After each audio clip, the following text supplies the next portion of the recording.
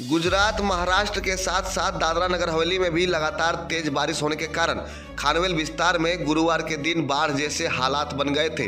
तेज बारिश और अचानक नदियों और छोटे बड़े खाड़ियों में जलस्तर बढ़ गया, जिसके कारण कई लोग अलग अलग विस्तार में बाढ़ग्रस्त हो गए। इस आलम में कई लोगों के घर बह जाने की जानकारी भी सूत्रों से प्राप्त हो रही है।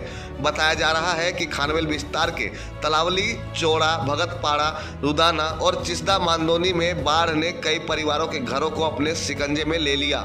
दाना प्रशासन इन परिस्थितियों में काफ़ी मशक्कत करते दिखाई दे रहे हैं। आज पानी का स्तर कम होने के बाद दाना के नेताओं ने प्रशासन के साथ मिलकर बाढ़ प्रभावित क्षेत्रों का दौरा किया और बाढ़ पीड़ित परिवारों को भोजन, पैकेज, कपड़े और कंबल भी प्रदान किए। फ़िलहाल, बाढ़ग्रस्त परिवारों को दाना प्रशासन की ओर से सुरक्षित स्थान पर ले जाया गया है, जहाँ पर उन सब के लिए उत्तम व्यवस्था भी किया गया है। बाढ़ प्रभावित क्षेत्रों का जायजा लेने के लिए दाना समाहर्ता भानुप्रभा, जिला पंचायत सीओ अपूर्व शर्मा, जिला पंचायत अध्यक्ष, नगरपालिका अध्यक्ष, भाजपा नेता, एडवोकेट सनी सनी भीमरा एवं अन्य नेता पहुँचे।